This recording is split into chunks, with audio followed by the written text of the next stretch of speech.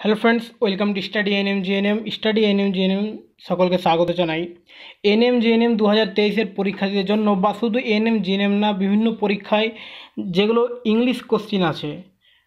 English question আসছে এবং কী কী রুলসের উপরে ভিত্তি করে ইংলিশ কোশ্চিনগুলো আসে, তোমাদের এনএম জিএনএমে প্রায় দশটা ইংলিশ আসে তাই তো? ওখানে সিনোনিম অ্যান্টোনিম থাকে এবং কিছু গ্রামার গ্রামার থাকে যেখানে রুলসগুলো জানতে হবে তাহলে তোমাদের ইংলিশটা খুব সহজ হয়ে যাবে। যাদের ইংলিশটা মানে একটু কঠিন লাগে তারা এই ভিডিওগুলো দেখতে পারো। আজকে আমি প্রথম রুলস নিয়ে এসেছি। এরকম মোটামুটি একশোটা রুলস করলেই কিন্তু তোমাদের ইংলিশটা খুব সহজ মনে হবে। আমি দেখাচ্ছি ভিডিওটা, একটু মন দিয়ে দেখো। রুলস ওয়ানে বলছে, আজকের যেটা প্রথম রুলস বলছে আনটাচেবল নাউন শুধুমাত্র এক বচনে ব্যবহৃত হয়। আনটাচেবল নাউন শুধুমাত্র এক বচনে ব্যবহৃত হয়। এক নম্বর, তাদের আগে ইনডিফিনাইট আর্টিকেল ব্যবহার করা হয় না। এখানে কাদের কথা বলা হচ্ছে? আনটাচেবল নাউনদের কথা বলছে। এখানে নাউন চ্যাপ্টার ধরে নিতে পারো এটা। এবং আনটাচেবল নাউন সম্বন্ধে কথা হচ্ছে যে আনটাচেবল নাউন শুধুমাত্র এক বছরে ব্যবহৃত হয়।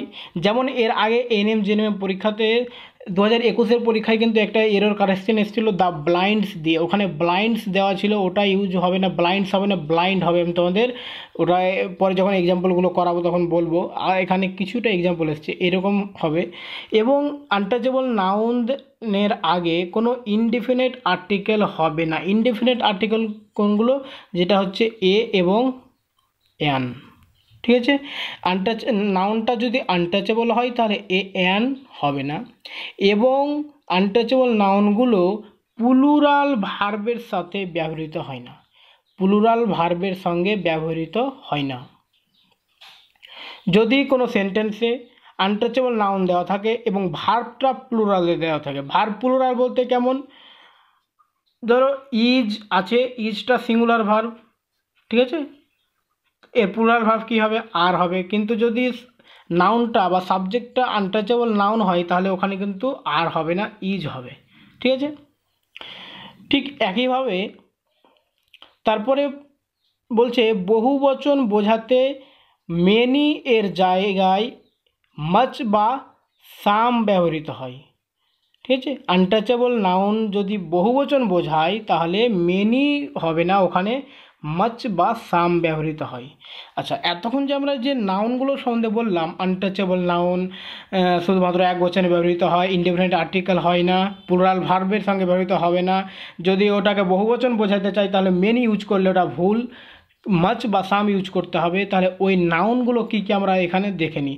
এখানে দেখো, কিছু হাইলাইট করা ওয়ার্ড আছে, এগুলো হচ্ছে ওই নাউনগুলো এই নাউনগুলো দিয়ে অনেকবার পরীক্ষায় এসছে যেমন অ্যাডভাইস অ্যাডভাইস একটা আনটাচেবল নাউন ইনফরমেশন একটা আনটাচেবল নাউন এর আগে ইনফরমেশনস কিন্তু হয় না এস যুক্ত হবে না। হেয়ার চুল যেটা ইনফর মানে এখানে এস যুক্ত হবে না লাগেজ এই নাউনগুলোকে মুখস্থ করে নিতে এই ওয়ার্ডগুলোকে মুখস্থ করে নিতে হবে, তাহলে পরীক্ষা খুব তাড়াতাড়ি বুঝতে পারবে।